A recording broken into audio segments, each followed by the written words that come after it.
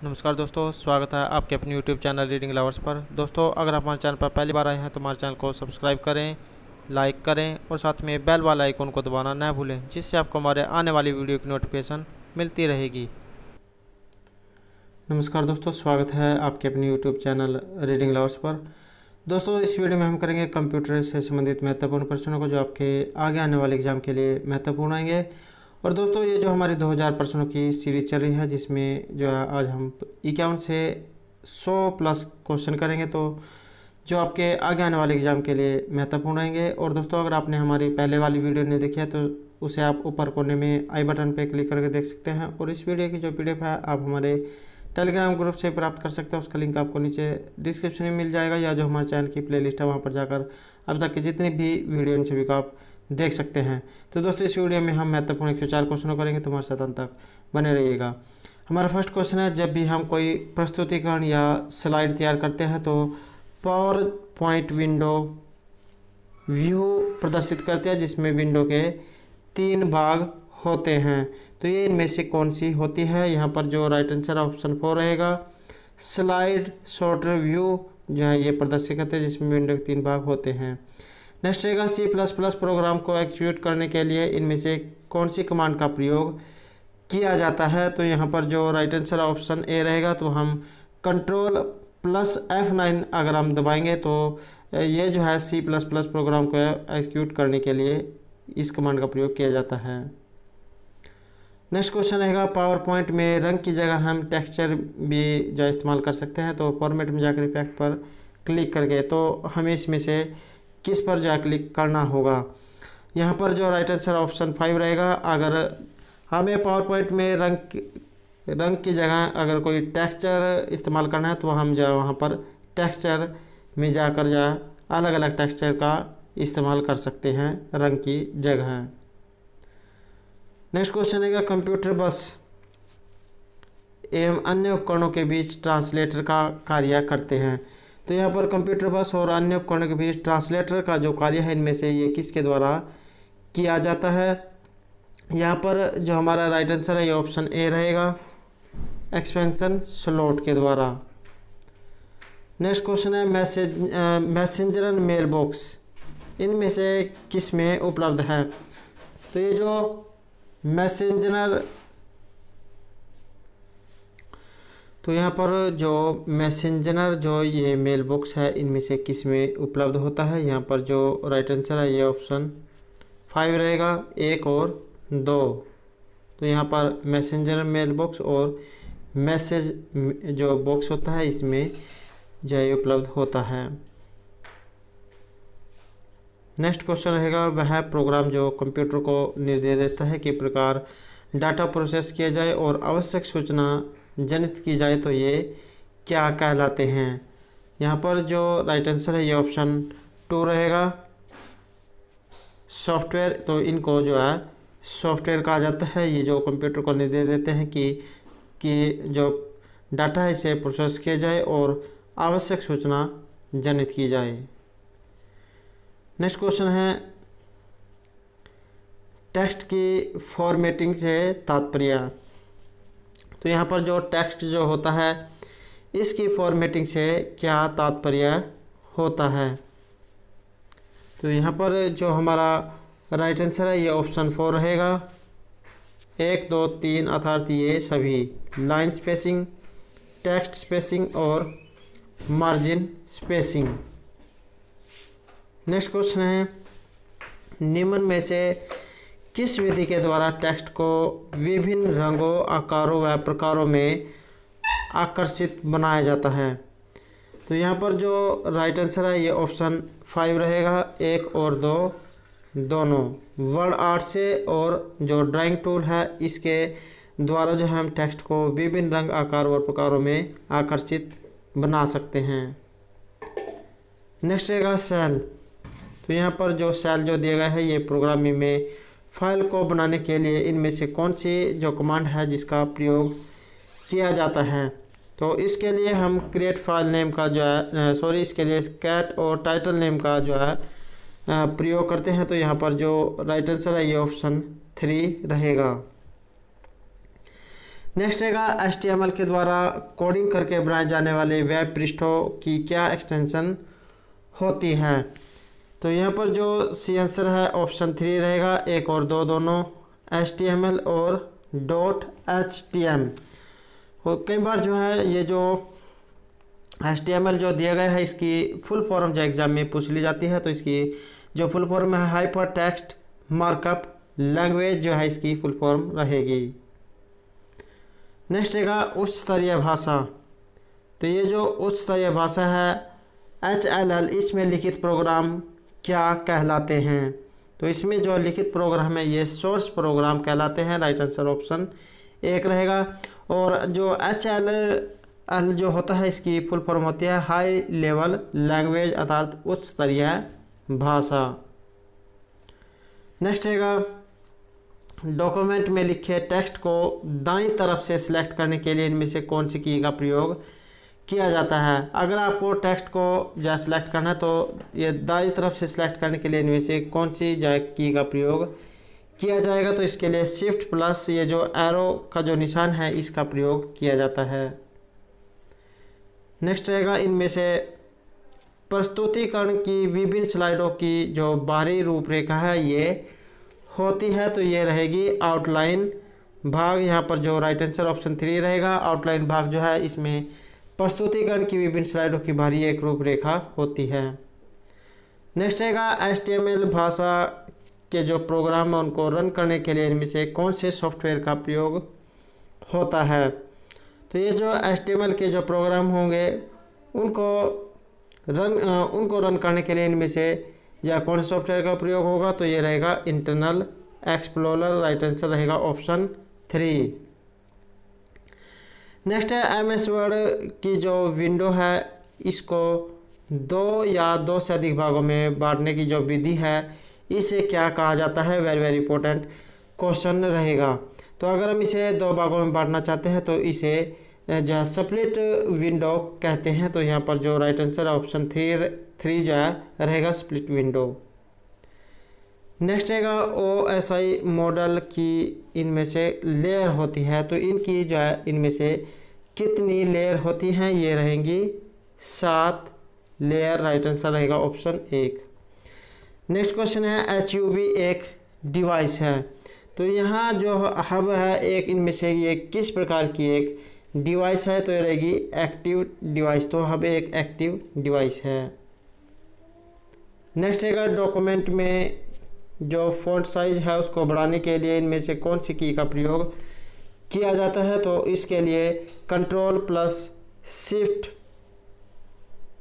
जो की होती है, इसका प्रयोग इसके लिए किया जाता है। नेक्स्ट है सूचनाओं को पंक्ति व स्तंभ के रूप में व्यवस्थित करने को क्या कहा जाता है? तो इस सूचनाएँ जो होती हैं, उनको पंक्ति या स्तंभ के रूप में व्यवस्थित करने को इनमें से क्या कहा जाता है, उसे हम टेबल कहते हैं right answer option three next रहेगा टेक्स्ट को डबल अंडरलाइन करने के लिए इनमें से किसका प्रयोग किया जाता है? तो control shift plus D button को अगर हम एक साथ प्रेस करेंगे तो ये जो है टेक्स्ट को डबल अंडरलाइन करने के लिए प्रयोग होता है। नेक्स्ट आएगा स्लाइड शो में जो पिछली जो स्लाइड है उस पर जाने के लिए इनमें से किस बटन का प्रयोग किया जाता है तो इसके लिए पेज अप जो कुंजी होती है, इसका प्रयोग होता है। नेक्स्ट क्वेश्चन है, इनमें से किस स्क्रॉल बार का प्रयोग विंडो में नीचे की ओर छिपी हुई सामग्री को देखने के लिए प्रयोग किया जाता है?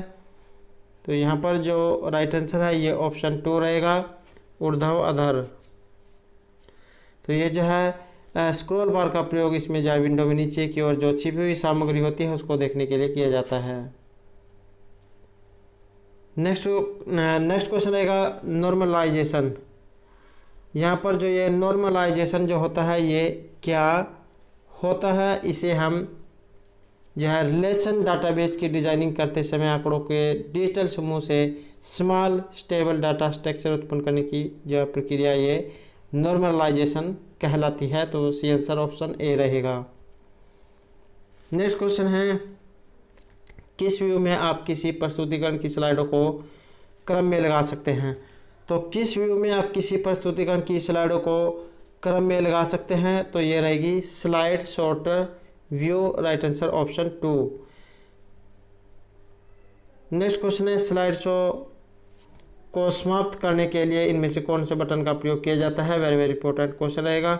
स्लाइड शो को समाप्त करने के लिए किस बटन, कौन सी जो है कुंजी जो होती है, इसका प्रयोग किया जाता है? तो इसके लिए इन सभी जो कुंजियों का प्रयोग होता है, एक्स एक्स कुंजी ऋण कुंजी, कंट्रोल प्लस ब्रेक और तो ये सभी जा कुंजियों का प्रयोग इसके लिए होता है। नेक्स्ट रहेगा, कर्सर वाले चिन्ह को हटाने के लिए कीबोर्ड की किस कुंजी का जो प्रयोग किया जाता है तो इसके लिए डिलीट जो कुंजी होती है, उसका प्रयोग किया जाता है। नेक्स्ट क्वेश्चन रहेगा हार्ड डिस्क में विभिन्न प्रोग्रामों की ड्राइव्स की भौतिकीय त्रुटियों की जाँच करने, उन्हें ठीक कर, ठीक ढंग से करने के लिए विंडोज़ में एक प्रोग्राम जो उपलब्ध होता है, इसे क्या कहते हैं? इसे हम स्कैन डिस्क कहते हैं। राइट आंसर रहेगा ऑप्शन एक। नेक्स्ट है ड्रम प्रिंटर यहाँ पर जो ड्रम प्रिंटर है, ये किस प्रकार के प्रिंटर का एक उदाहरण है? वेरी वेरी इंपॉर्टेंट क्वेश्चन है। ड्रम प्रिंटर ये किस प्रकार के प्रिंटर का एक उदाहरण है? तो ये रहेगा लाइन प्रकार के प्रिंटर का तो यहाँ पर जो राइट आंसर है ऑप्शन एक रहेगा। नेक्स्ट क्वेश्चन है एम एस वर्ड में जो पिक्चर इंसर्ट करने के लिए इनमें से कौन सी जो सुविधा है, ये उपलब्ध होती है? तो ये सभी सुविधाएँ उपलब्ध होती है। क्लिप आर्ट भी होता है उसमें पिक्चर भी और फ्रॉम फ़ाइल भी जो है उसमें होती है।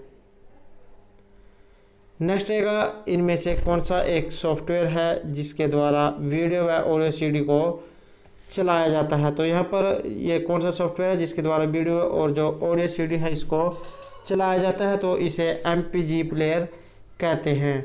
राइट आंसर ऑप्शन एक। नेक्स्ट आएगा ये जो फ्रंट पेज जो होते हैं, इसमें बनने वाले डॉक्यूमेंट की एच कोडिंग को देखने के लिए इनमें से किसका प्रयोग किया जाता है तो इसके लिए रिवील जो टैग होते हैं, इसका प्रयोग किया जाता है। राइट आंसर रहेगा ऑप्शन एक। नेक्स्ट है कंप्यूटर में बस से अभिप्राय।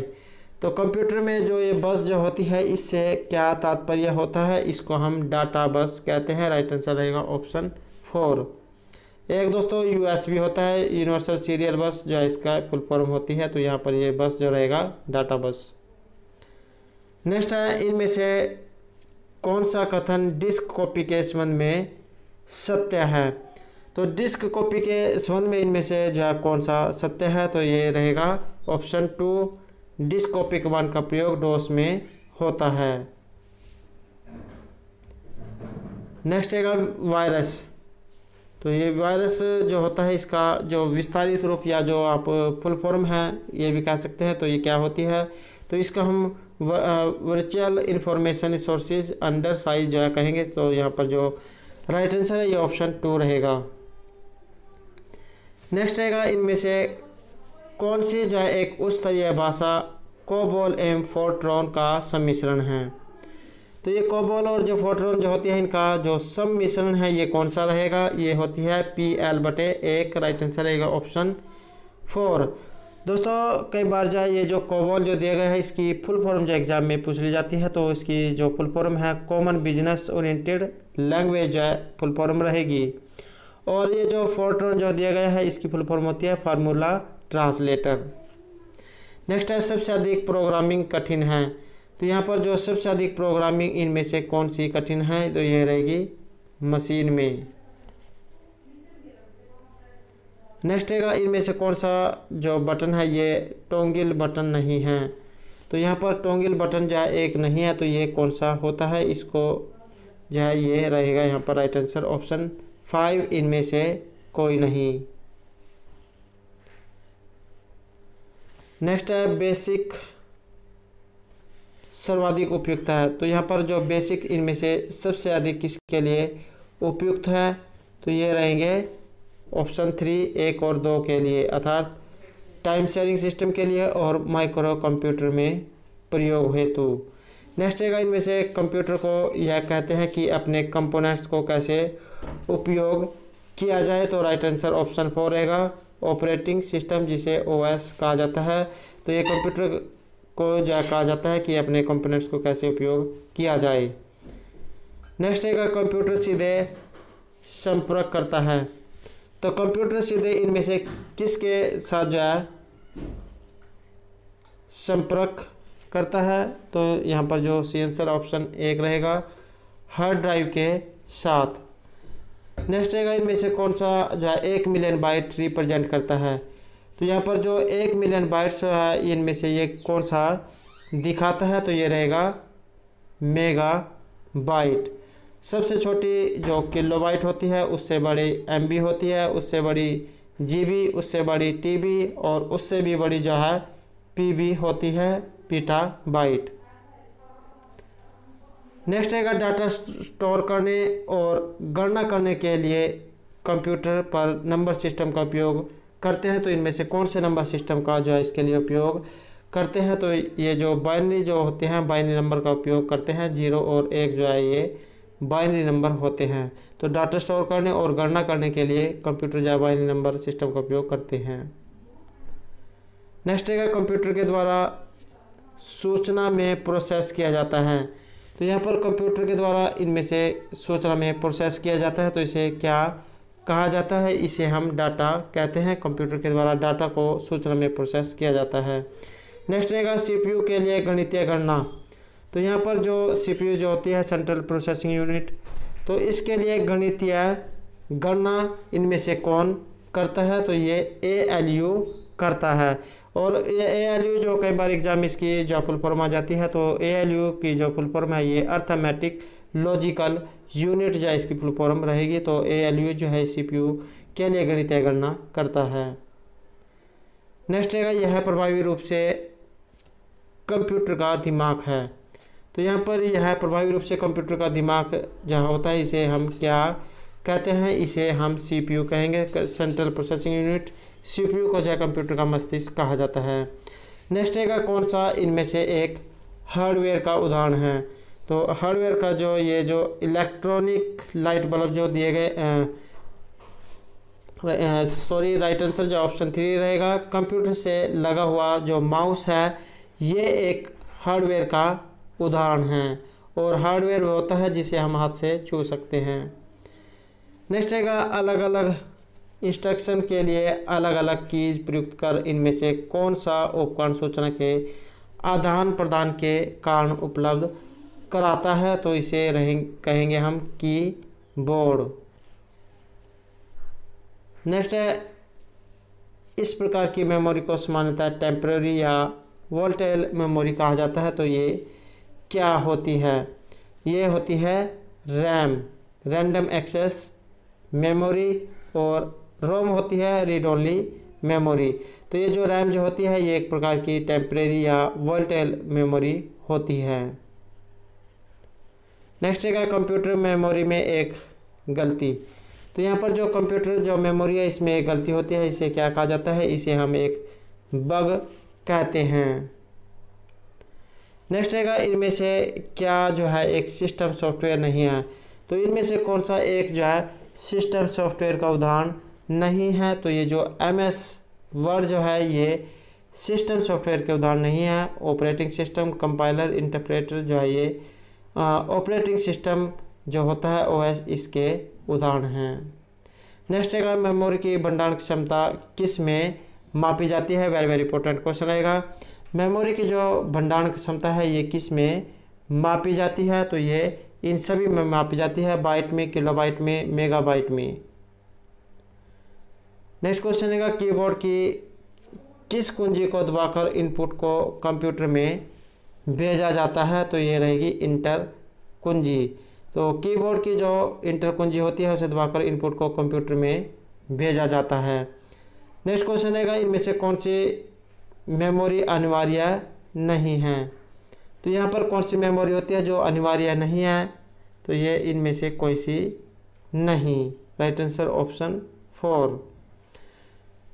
तो दोस्तों, ये थे हमारे आज के कंप्यूटर से संबंधित कुछ महत्वपूर्ण क्वेश्चन जो आपके आगे आने वाले एग्ज़ाम के लिए महत्वपूर्ण होंगे।